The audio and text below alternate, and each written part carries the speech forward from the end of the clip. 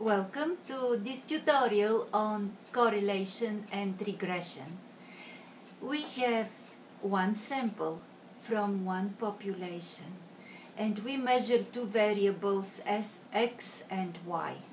I generated the second variable to have a little linear correlation with the first but I added a lot of noise and of course our statisticians know how to do this. I would like to show you something that is general so that in each uh, specific case you can do the calculations. I will help you with the statistical part of correlation and regression.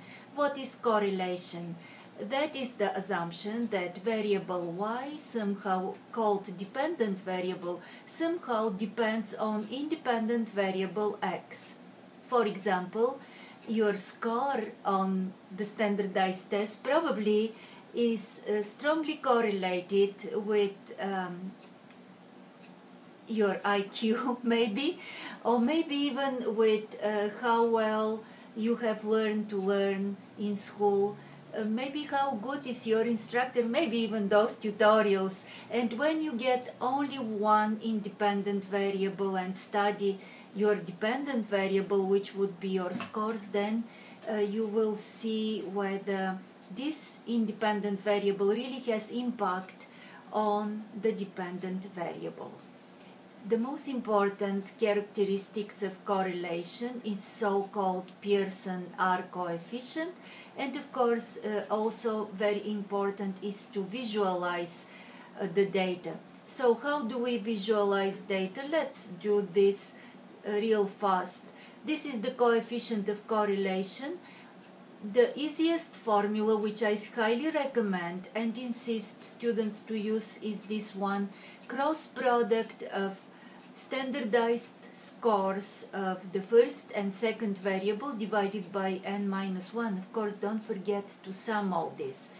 If you square the Pearson R, and multiply by 100, you will have the coefficient of determination, very important characteristic that shows what percent of variability of y is due to variability of x.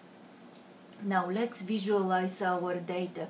I selected here only 18 cases. We, we need to have at least uh, 30 ordered pairs, 30 individuals selected randomly, but in this case, I will use only 18. And this is the visualization of this correlation. As you can see, the generated random sample in this case is not linear. This is the reality. However, if you click on chart layouts, here is this formula that I will show you how they get this formula in Excel. We will go now step by step on this formula. First, of course, I would like to make this formula large enough so that you can see it. So, you remember probably from mathematics that linear equation means that one variable y depends on variable x to the power of 1 this coefficient in front is called coefficient uh, slope and this is intercept. Now, slope and intercept, the equation looks y equals mx plus b in mathematics, but in statistics, there is a funny reason to use bx plus a. The reason is that we cannot use m because for the population I will need Greek letter mu which is already borrowed for the mean of the population. So I cannot use mu and this is why I, uh, I use, or we the statisticians, we use Greek letter b for the, for the slope of the population beta and b for the sample. Now, the intercept a is equal the average value of uh, the, the second variable, dependent variable, minus the slope times the mean of the independent variable. B value, which is the slope, is the Pearson R times the slope of uh, the standard deviation of y variable ver- versus the standard deviation of x variable. I will need Pearson R and here I already put the Pearson R but let's see how we calculate Pearson R to be able to do everything else. So as I already mentioned for Pearson R we need to have the average for the population to use the standardize equal equal standardize.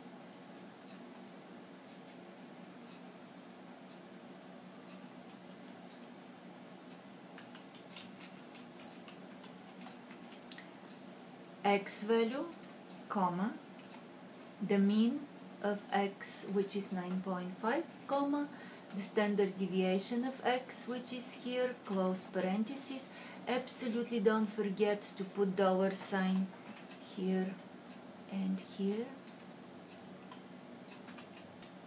And we have the zx now I will copy zx real fast.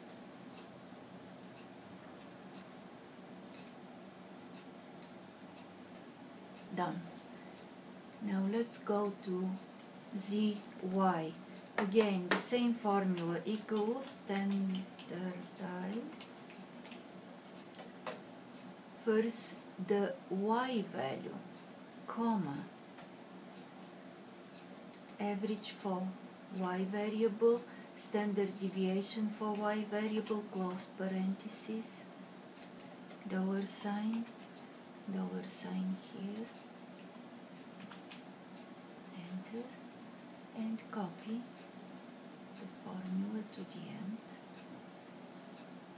okay then according to this formula for Pearson R I have to multiply each corresponding z value.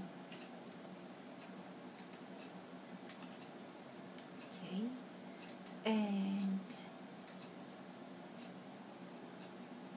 copy.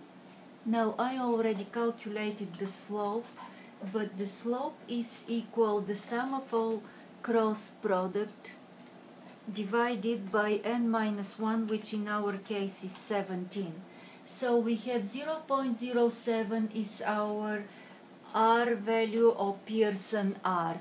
Let's go back to the slope intercept formula.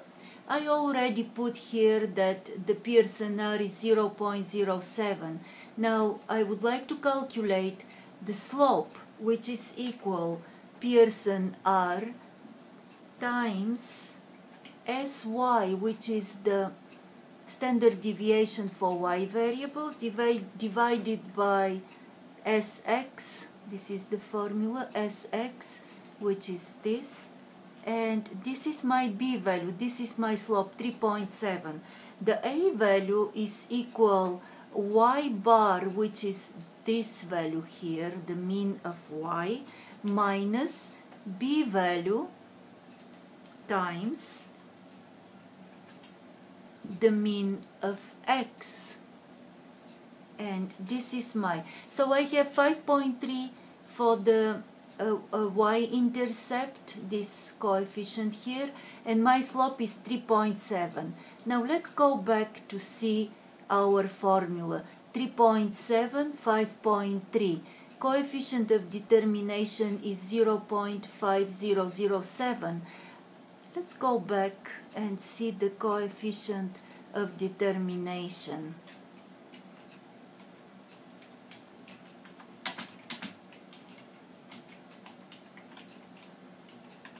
So the coefficient of determination would be equal this value Pearson R to the power of 2 times 100 but we will calculate it. So it is 0.5007 and as you can see here the coefficient of determination is 0.5007. What does it mean? It actually means that 50% of variability of y variable is due to variability of x variable. So now you have a better understanding how to do correlation and uh, how to do regression. This formula oftentimes is called regression. When we call this formula regression, we put here one y prime and even if we don't have some x value, we can predict by using this formula what is the y value. Even if we don't have data, within all this data we can make predictions. We oftentimes can make predictions outside of the range, but this is a little tricky. And this is all for today. Have a great day.